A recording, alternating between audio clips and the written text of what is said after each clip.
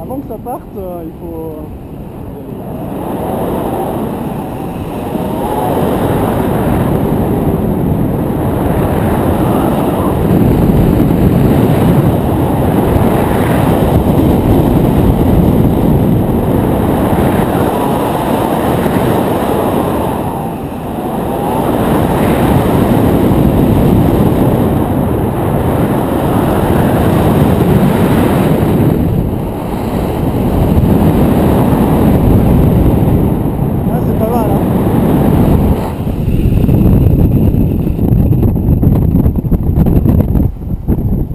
pas encore passé au-dessus de l'aile, mais euh, ça ne saurait tarder.